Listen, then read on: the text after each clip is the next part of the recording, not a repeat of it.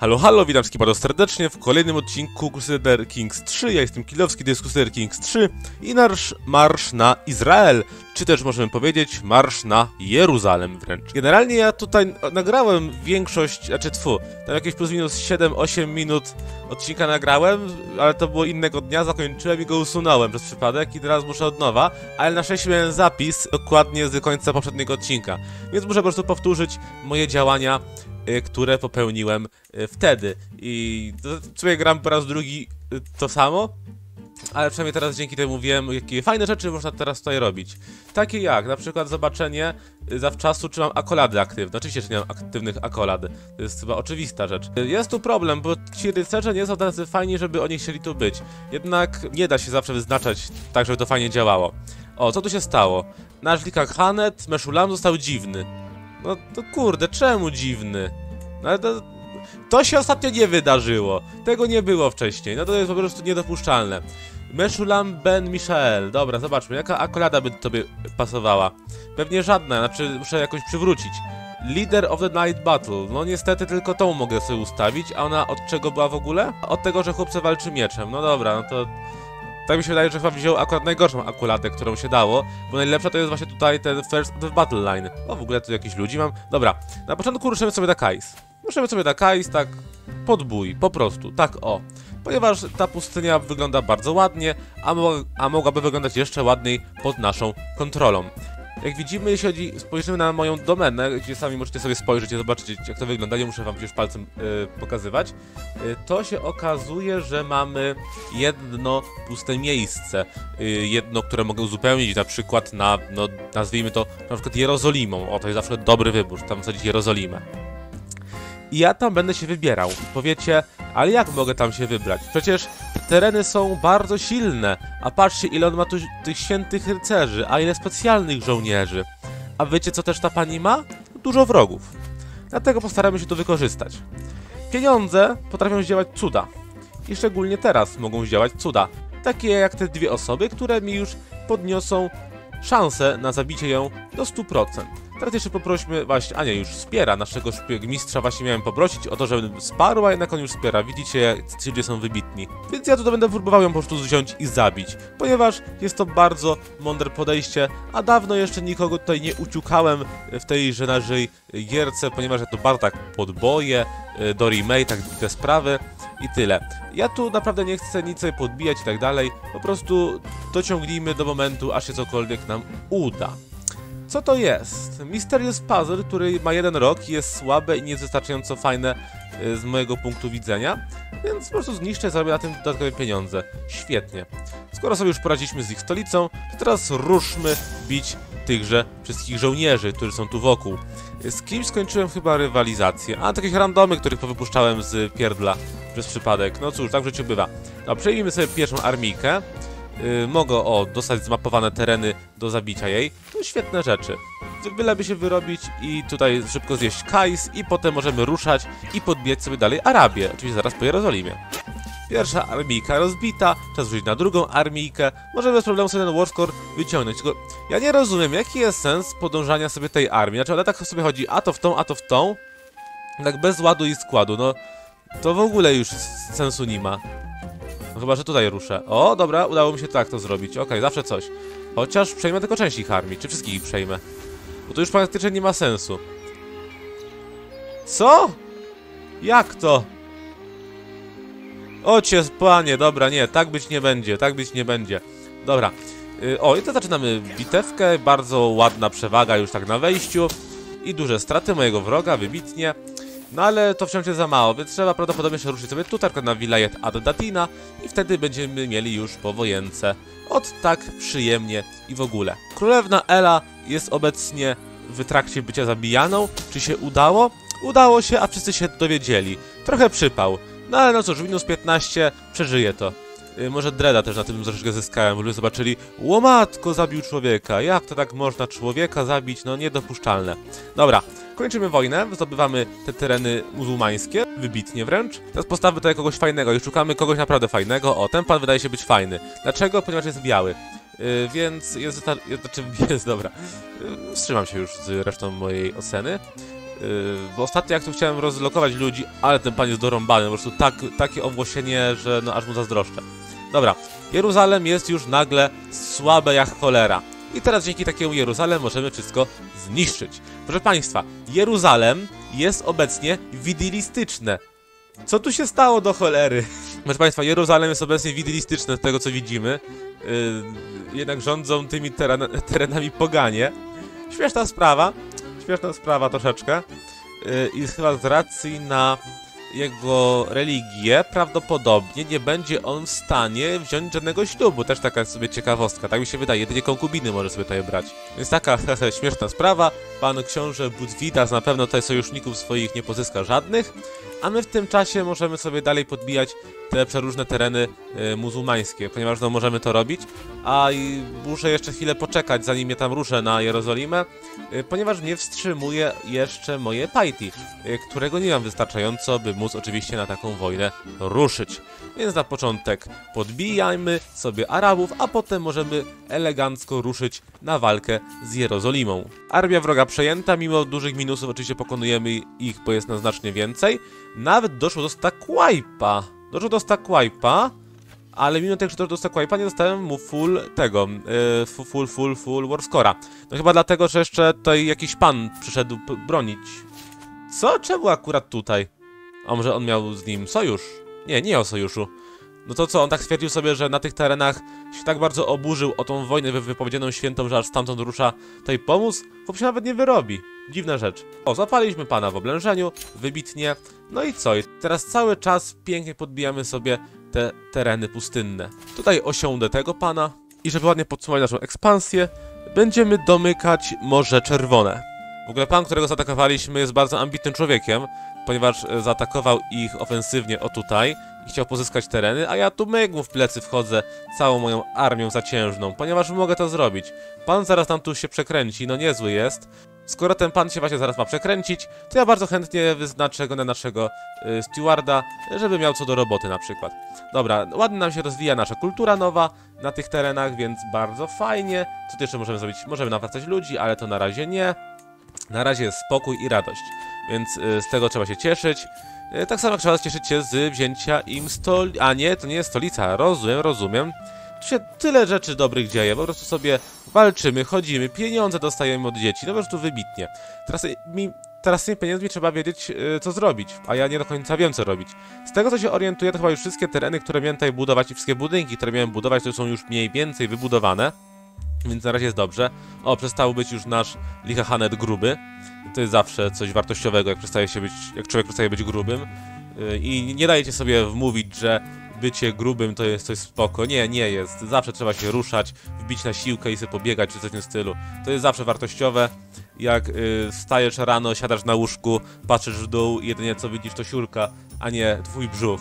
To jest pewna wartość w życiu, którą należy się kierować. O, wziął i umarł. No kto by się spodziewał? Dobra, weźmy najlepszego naszego stewarda. Świetny jest. A, to jest ten tu z, z Kazim. No, świetny chłop, naprawdę. Takich tam trzeba. Yy, tutaj już zdobyliśmy tą prowincję, więc teraz chodźmy na stolicę. Na moim dworze sobie uciąłem tyle tych bonusików, tutaj monthly learning plus 10, plus 10. Yy, tutaj mamy chyba bodajże książeczkę, która daje tutaj yy, plus 5. W dodatku on sam ma geniusza, to my tak szybko uczymy się tych rzeczy z learninga, że ja jestem w stanie chyba do 40 roku życia y, zrobić sobie już te dwie odnogi y, tutaj w tym, bo w sumie potrzebuję tego Wall of Body z Kolara i uciekam sobie do y, Well Focusa, żeby zarabiać pieniądze. I po co mi cokolwiek więcej, no, no, no po co, no, jest już niepotrzebne. O, pięknie, my tu już sobie ładnie nawróciliśmy nasze tereny, to teraz pozwólmy na przykład sobie nawracać tereny naszych wasali. Takich mniejszych, bo to. Ty, ci więksi tak sobie nawrócą, a tych mniejszych czasami trzeba wesprzeć. To jest oczywiste, że czasami trzeba ich wesprzeć. I ważne też będzie, żeby e, tą kulturę właśnie naszą nową e, rozprzestrzeniać do innych ludzi i trzeba mieć nadzieję też, że e, wszyscy chętnie będą to robić. Ponieważ to jest tak, w Damocie tutaj mamy niby Welajtów, mimo że ja zmieniłem im kulturę na Nekbryjską, a ja wiem co tu zrobić. Co jest, to jest Erem, ty jesteś Erem, ja będę cię uczyć, to jestem ja, to jest on, zmienię mu kulturę. Spoko? Spoko. Dobra. I teraz, skoro będzie to w ten sposób, to teraz powinienem spróbować go na przykład zabić yy, i powinno być dobrze. Ja teraz będę kombinował, naprawdę chcę kombinować, ale chcę zmieniać kulturę i rozprzestrzeniać naszą kulturę. To jest dla mnie bardzo wartościowe, żeby ta kultura się rozprzestrzeniała, nasza hebrycka kultura. To jest dla mnie bardzo wartościowe, więc trzeba zabić naszego wasala, trzeba to zrobić, obowiązkowo wręcz. Jak to zrobimy? No to wtedy będzie super, no po prostu co ja mogę więcej wam powiedzieć. Y, Z kim ja prowadziłem wojnę, bo nie pamiętam już. A, tutaj, na tych terenach. Dobra. Czy mam jakiegoś krewniaka, którego mogę tutaj osiąść? To szczęśliwy dzień dla Miszela Gideona, ponieważ on teraz wylosowałby się wydziedziczonym i zostanie władcą na tych tutaj terenach. Ale żeby nie było mu zbyt wesoło, to Najeran dam jakiemuś, jakiemuś pospolitemu Hebrejczykowi, e, Hebrytowi czy Hebrejczykowi, no jakoś tak, który będzie sobie siedział o tutaj, pięknie, a tu młody sobie siedzi tutaj i zarąbiście. Co tu się w ogóle dzieje? O, rewolta wewnętrzna. A nie, to jest powstanie maszreckie. Uuu, też ciekawe rzeczy tu się dzieją. Ciekawe, ciekawe. Yy, to może ja tam zainterweniuję, ale nie mam jeszcze Pajti, więc nie mogę jeszcze interweniować. To ja czekając na to, co się stanie w Jeruzalem, ruszę obecnie na Muszinów, którzy są tutaj zaraz obok i mogę sobie tutaj ich się pozbyć, mogę ich podbić tak bez żadnego wręcz problemu. Będę wykorzystywał każdą okazję, by nieść śmierć i zniszczenie, a bardziej podbicie oraz cywilizację. Ponieważ niesienie cywilizacji jest bardzo ważną ideą, o której często ludzie zapominają. Że to nie jest tak, że przyjechał sobie biały człowiek do Ameryki, po prostu niósł śmierć, głód i rozpacz, tylko niósł cywilizację i rozwój społeczny. Jeruzalem coraz sobie sobie radzi z tymi, kurde, re rewolciarzami. No ale cóż, to taki kraj mają, to tak sobie radzą, co tu dużo mówić. E, Czy ja chociaż dobrze podzieliłem tą armię moją? Dobrze ją podzieliłem. Znaczy, no, e, nie mam żadnych lewisów, których mógłby nam wysłać, więc może wyślę im tak z, nie wiem, z 2000 ludzi. To będzie chociaż jakiś człowiek, który będzie tam stał w tym oblężeniu. Zostaliśmy atletą. Być atletą jest super, ponieważ daje nam fajne bonusy, po prostu, z racji tego, że jesteśmy teraz agrarystami, że tak to nazwę. Więc agraryzm bardzo nam pomaga. Y, Czy ja nie wziąłem kotka? Ja pierdzielę, mogłem mieć kotka, ale o tym zapomniałem. Znaczy, nie zwróciłem na to uwagi, na co się dzieje na dworze. A jednak warto czasami na ten dwór wejść, bo no, rozdają koty albo psy. To jest bardzo wartościowe. A w ostatnim podejściu będziesz murzynami, y, to ja tam pozyskałem nawet lwa, a to już w ogóle wartość sama w sobie. No widać sobie radzą tutaj świetnie. Y, Widylistyczny Jeruzalem upada. Śmiesznie. Y, A my sobie podbijamy dalej. Dla nas takie super rzeczy się tu dzieją. Dobra, chyba wygrywamy teraz już wojnę tą bitwą. Świetnie. Takie szybciutkie wojenki są zawsze wartościowe. I prawdopodobnie pozyskaliśmy już y, tą pustynię w ramach chyba naszych granic. Tak, tylko potem Kaj zdobyć już będzie naprawdę ładna granica. I to są tereny jakie? To są tereny dalej Arabii. No to dobra, to są jakieś takie mało już interesujące tereny, chociaż całkiem bogate, trzeba przyznać. Możemy je nadać a komukolwiek. Tutaj akurat nie będę wybredny, dam te tereny komukolwiek i kto będzie lepszy z tej dwójki, e, dostanie stolicę Amman. Patrząc na tych dwojga panów, uważam, że ten pan jest lepszy. Nie pytajcie dlaczego. No i super, no i mamy ładnie tutaj rozdzielone tereny. I teraz, yy, dalej czekając na zabicie naszego wasala, jesteśmy w stanie już stwierdzić, że to, co się dzieje w Jerozolimie, jest niedopuszczalne. Taka skala niesprawiedliwości, walk wymaga od nas interwencji na ziemiach Jeruzalem. I dlatego wypowiadamy świętą wojnę właśnie o Jeruzalem i zamierzamy tam wejść, ponieważ właśnie poczuwamy się, że to trzeba zrobić. Dlatego po raz kolejny powołujemy święty zakon, armię zaciężną, y, którą mam nadzieję, że się tutaj zdąży zebrać. Chyba się zdąży zebrać. Proszę tutaj poczekać, aż się zbierze moja armia. Dobra, armia się zebrała. Może jeszcze odrobinkę żołnierzy takich zwykłych, poborowych i takie konkretne 11 tysięcy żołnierzy to jest naprawdę coś wartościowego. I teraz my możemy ruszyć, by zniszczyć tą rewoltę, która niszczy Jeruzalem, a potem zainterweniować w już samym Jeruzalem. Prawdopodobnie od razu po tej bitwie y, Warscore skoczy chyba do 100%, tak, skoczył do 100%, więc Jeruzalem zostało uratowane w czasie, w czasie tej rebelii, ale nie spodziewali się, że potem to my wchodzimy do Jeruzalem i to my teraz prowadzimy tutaj oblężenie samej stolicy świętej. Dla nich to nie są y, tereny święte, to jest widylista, to jest po prostu jakiś poganin, który jakimś cudem został tutaj władcą. No tak to się dzieje, tak to się właśnie dzieje, jak ktoś źle zarządza państwem oraz dziedziczeniem. Ale teraz my bierzemy szturmem Jeruzalem i co pozyskujemy? O, taką właśnie y, skórę, która jest słaba. Ale przecież, jeśli ja tu dobrze pamiętam, wystarczy sobie wejdę w ten panelek tu, a nie, to jest, to jest mała skóra. Wejdę sobie tu i myk 80 pieniędzy. Jeruzalem pozyskane, wielkie zwycięstwo, a możemy się podzielić i zająć sobie to, nie wiem, takie tereny jak strefa gazy, takie jak baroństwo Jaffy, no tu wybitnie. W końcu Jeruzalem będzie pod kontrolą żydowską. Nareszcie.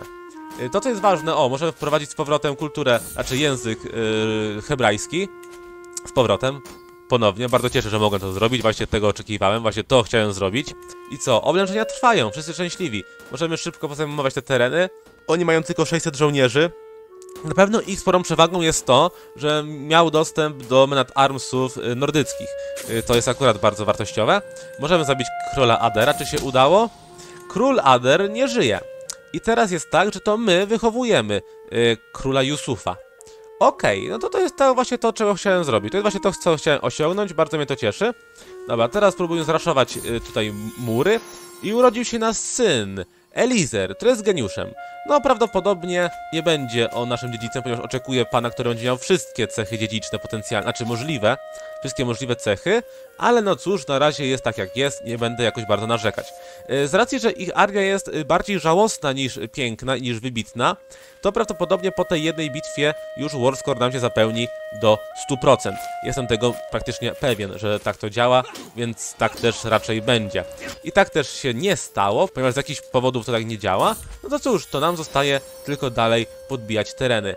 Pokazaliśmy siurka y, córce naszej y, straszne rzeczy. O i możemy też y, haszysz przestać zażywać. Jest to dobre bardzo, ponieważ teraz mamy 24 y, stewardshipa, wybitnie. Mamy również gigantycznie dużo stresu i nie mam jak sobie z tym poradzić. Prawdopodobnie będę musiał, prawdopodobnie będę musiał pójść sobie na jakąś fiestę. Tak, jakiś bankiecik. Ten bankiecik jest bardzo potrzebny, żebym ja wziął i nie, i nie umarł po prostu ze stresu. I jakie miejsce będzie dobre pod bankiet? No na pewno nie stolica, na pewno nie te tereny tutaj. To jest bardzo dobry bankiet, można zrobić na przykład w Gizie. No ja zapraszam ludzi do Gizy. Będzie to bardzo dobry bankiet, który przede wszystkim będziemy się pokazać dobrze wasalom, ale nie będę jakoś bardzo bazował na pozyskaniu prestiżu, bo nie jest to nam jakoś bardzo potrzebne. Możemy też jakiegoś honorowego gościa zaprosić, ale po co? Jakoś nie potrzebuję jakiegoś żadnego honorowego gościa. Możemy rekreację albo jakieś inne rzeczy tu zrobić, ale też nie, nie jest potrzebne. I co, jak będziemy sobie jechać do, na górę, to nic się raczej nie stanie. Dobra, zacznijmy fiestę, jedźmy na północ, bo inaczej będą się dziać tutaj złe rzeczy, a ja nie chcę się przypadkiem przekręcić w międzyczasie. Dobra, jako jesteśmy atletą, mogliśmy sobie pobiegać i straciliśmy nasz, nasze punkciki na, 5, na 10 lat. Kurde, trochę przypał. Dzisiaj jest to bardzo problematyczna sprawa, ale cóż, tak, że w życiu bywa, trzeba mądrze swoim stresem zarządzać. O, już zbiliśmy sobie nasz stres, o, nawet rozwinęliśmy kolejną kwestię naszej kultury. Co dalej możemy robić? No kurde, akurat Naval Speed plus 25, to najgorsze co się dało tutaj akurat pozyskać, no ale no cóż, zakończyliśmy oblężenia Keraku, zdobądźmy jeszcze Akkę i w ten sposób możemy ogłosić zwycięstwo w Jerozolimie.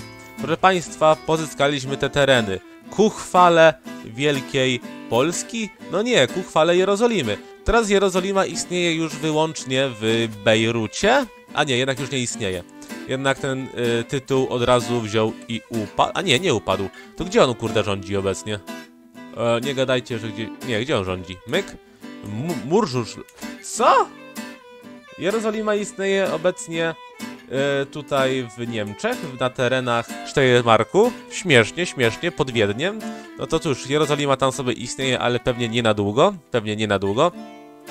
A teraz te tereny musimy jakoś fajnie porozdawać.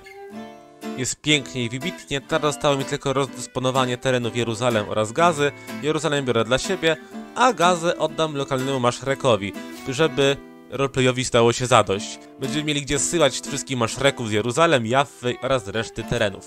Więc pięknie udało nam się pozyskać teraz Jeruzalem i niedługo będziemy mogli odtworzyć Izrael. Ale wpierw musimy poczekać a na to, aż Jerozolimę nawrócimy na jedyną słuszną wiarę.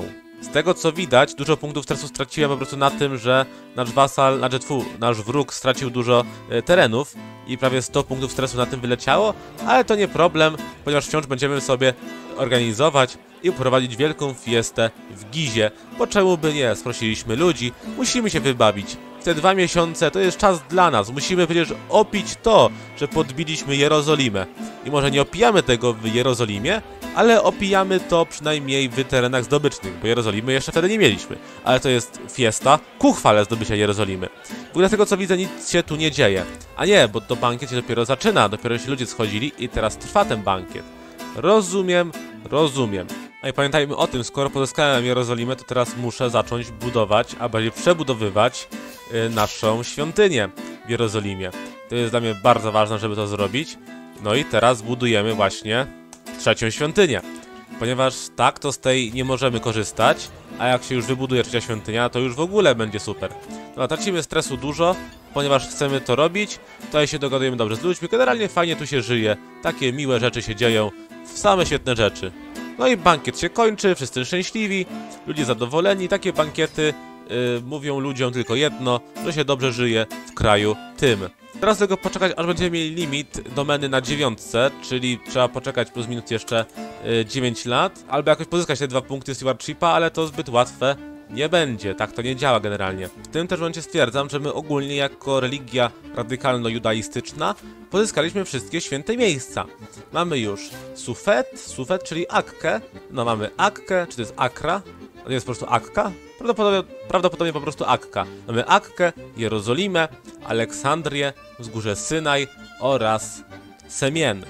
Więc to jest dla nas na pewno duże osiągnięcie, że w końcu jesteśmy taką religią, która się w końcu porządnie rozwinęła. I to jest na pewno coś dobrego. Teraz, to co jest ważne, to patrzeć teraz w świat i mieć nadzieję, że inne kraje przyjmą naszą religię, ponieważ czemu mieliby jej nie przyjąć? Jesteśmy tak dobrą i fajną religią. Po prostu tylko brać. Obecnie też muzułmanie są bardzo osłabieni, ponieważ trzymają pod swoją kontrolą już wyłącznie Bagdad, który dużo im nie daje, ale jest to właśnie jedyna prowincja, która daje im cokolwiek. Jest to jedyna prowincja, a my już mamy wszystkie nasze święte miejsca, więc jest super. Jesteśmy zadowoleni, możemy teraz szybciej nawracać i w ogóle. Nawet nasi wasale powolutku wprowadzają tą kulturę naszą nową, hebrycką, y, co mnie cieszy. Ja lubię jak wasal wprowadza kulturę. To jest raz, dwa, trzy, to są trzy prowincje, w których ja to zrobiłem, a tutaj to już nawet, nawet Fayum to zrobili tak sami z siebie. No pięknie. O, tutaj nawet powolutku już pan tu wprowadza, czyli on będzie wprowadzać już dalej. No świetne rzeczy. A pan tu też wprowadza, a pan też wprowadza. No to dobra. Czy na wzgórzu Synaj by się przydało, żeby pan wprowadzał. Na wzgórzu Synaj yy, mamy chyba nie tylko samych... Yy, a, są już Beduini. Tu są Beduini, a tutaj są tylko Egipcjanie, no więc tutaj on nie wprowadzi, niestety. Nie wprowadzi niestety nowej kultury naszej hebryckiej. To smutne, że w Synaju akurat nie będzie hebrytów. To bardzo smutne. Cóż ja mogę więcej rzec.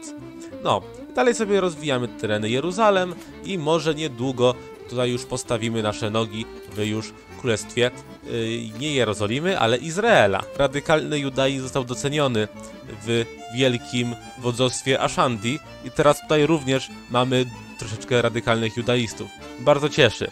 Yy, klasycznie została yy, zachodnia Afryka zjedzona przez yy, muzułmanów, przez Ashari oraz ibadystów.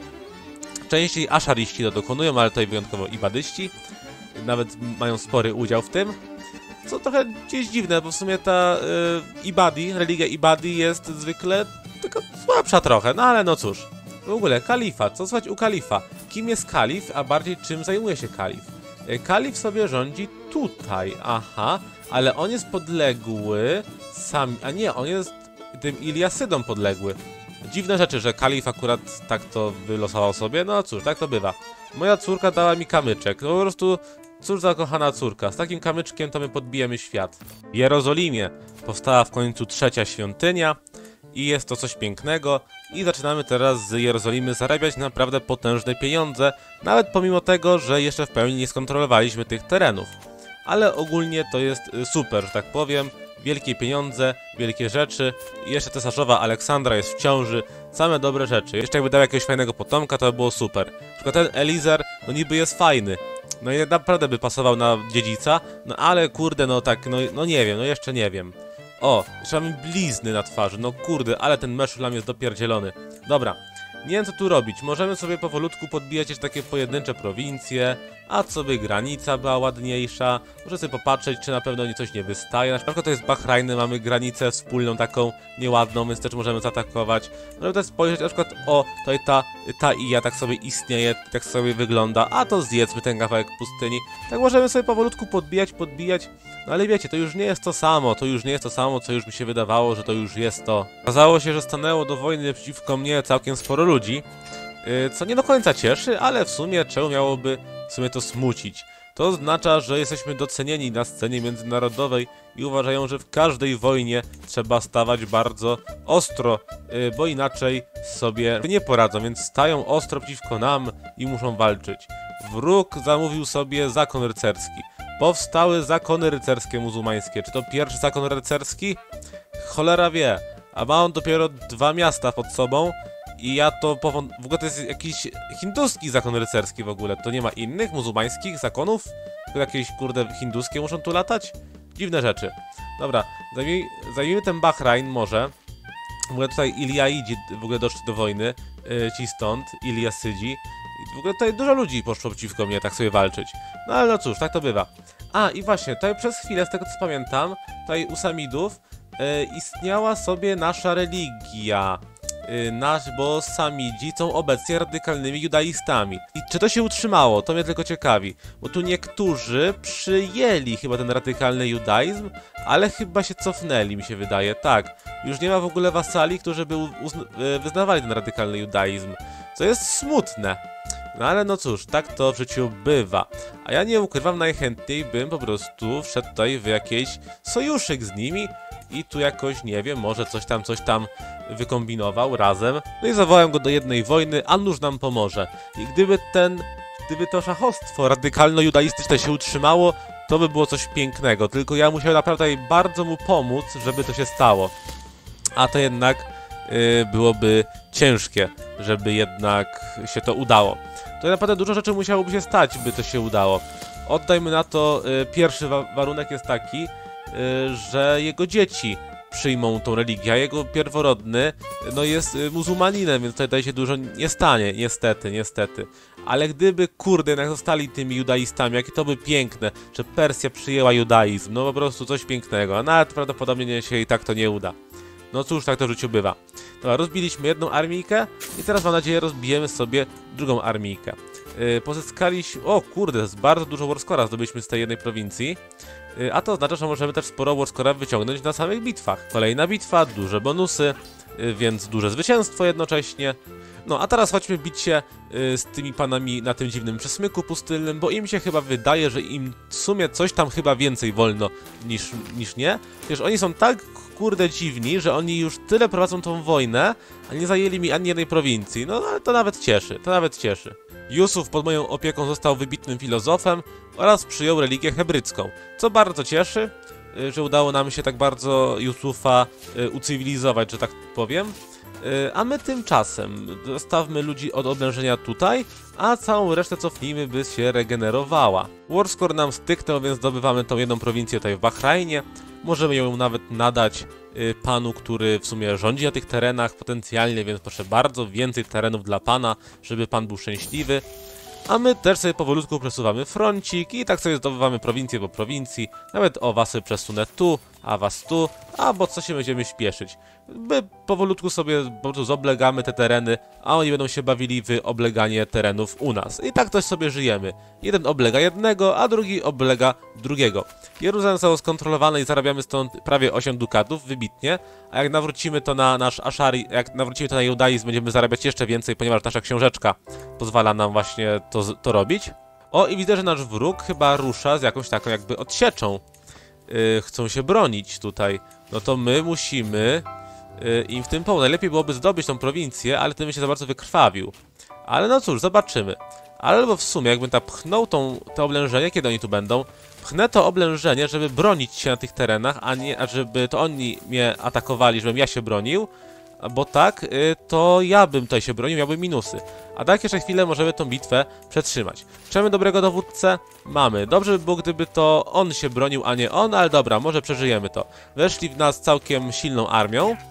Y, no i co? Tak to wygląda, że na razie my to wygrywamy, mamy spore bonusy. Teraz weszło wsparcie od wroga i się trochę przesunęła szala na ich stronę, a jednak pochodziło też wsparcie nasze i szala przechyliła się teraz bezpośrednio i wyłącznie na naszą stronę i zwyciężamy w tejże bitwie. Więc zdobyliśmy ich stolicę, wygrywamy bitwę i jest po wojence zdobywamy ten kawałek pustyni.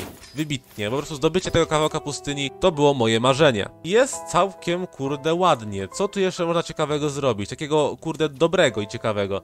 Coś co może być naprawdę interesujące. Kurde, aż się prosi, żeby jeszcze wejść w ten damaszek, bo taki ładny on i duży. Więc to też zrobię. To ciekawe, armia damasceńska dopiero się wycofuje z poprzedniej wojny, a tu już widzimy, znowu wchodzą do wojny i nawet mnie zaatakowali w bitwie i chyba rozwalamy im armię całkiem. Cóż za śmieszna sytuacja. Zajęliśmy tutaj tereny, możemy ruszyć teraz na południe, ale tu mają bardzo rozwinięty zamek, więc możemy równie dobrze pójść o sobie tutaj, gdzie już zamku rozwiniętego nie mają.